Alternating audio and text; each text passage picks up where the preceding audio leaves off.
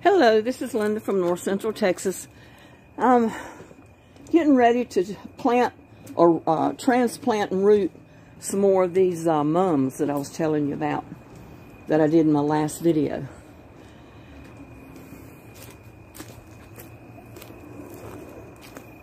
Like this one right here. Oh, if I can get down here. This pot right here I just, I had some bulbs in there, but the, the pot stays too damp. So they weren't doing too good. So I took them out and I broke off some more mums and stuck the mums down in there. And I've got another pot that I need to do that with.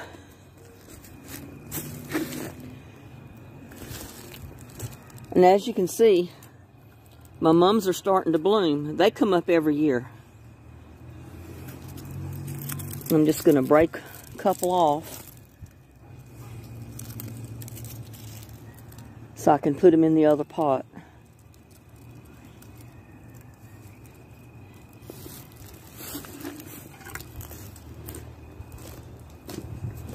And you might wonder, well, why did I buy a couple of pots of mums when I can root my own? Well, for the simple fact that it was so dry this summer that it was impossible to do that. So, this is the pot right here that I'm going to get these bulbs out of.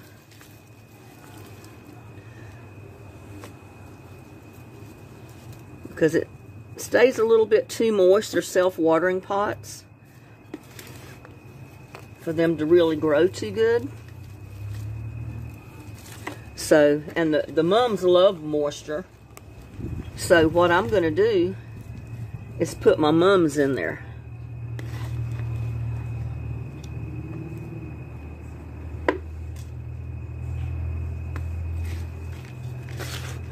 Put my mums in there because it stays moist enough that they will root.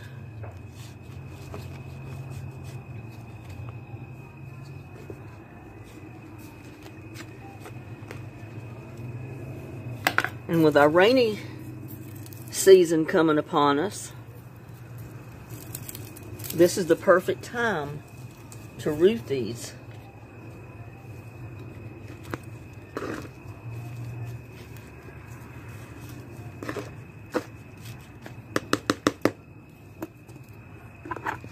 And I will put these um,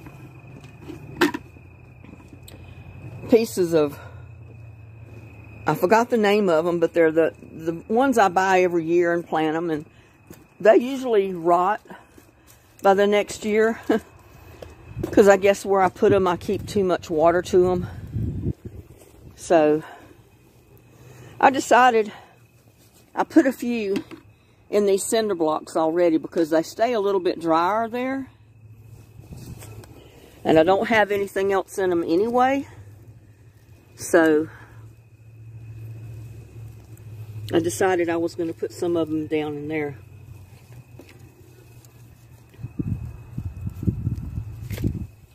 And if they live and come up next year, that's okay. And if they don't, then that's okay too. But I think they'll have a better chance of surviving the summer months in these.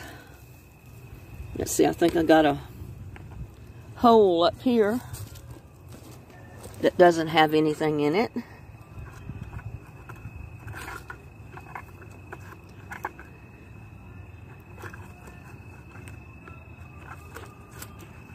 Well, I can get this put down.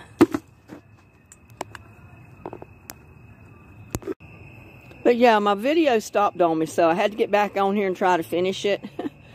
uh, but anyway, I planted the mums in the pots that I needed to.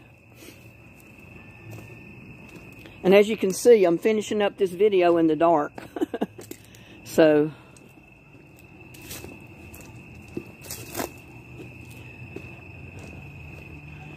I think it was this pot up here that I was working on. And my camera went out on me. But I got that one in some cuttings for the mums. And it's a self-watering uh, pot, so it stays moist, so it should root pretty well. Because you do have to keep the, the dirt moist. You don't let it dry out, because if you let it dry out, then it's not going to root.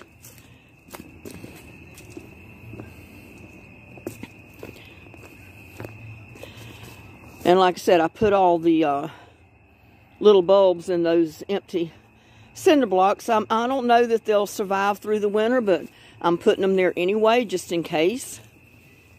We had some heavy rain. And there's the mums I planted, what, yesterday, day before. So they're looking good. We had a heavy rain yesterday. High winds and thankfully no damage. We didn't get a tornado close to here, so the radishes is doing good in that little pot. doing fantastic in the dish pan. And there's the mums I also stuck down to root.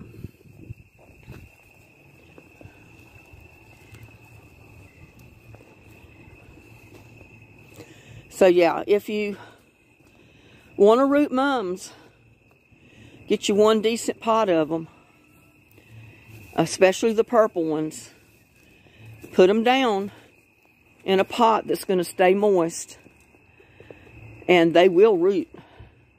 And the, I have had the best luck with the purple mums coming up every year. I've tried the yellow, the orange, or the brown color. I've tried all of them. And the purple ones are the only ones that come up for me every year. One of these days I'm going to have lights strung around in my back, in the backyard. But that's the bulbs right there. That's the plant. And I've got bulbs in this pot, but I'm not pulling them out quite yet. We'll wait and see what happens with them. But it's the time of year now that, you know, they're going to die back because they live in the summertime. They don't they don't like the fall and the winter. So, oh, sorry. So with that, I am going to go ahead and put this with the other, the first half of the video and hope that it worked out. and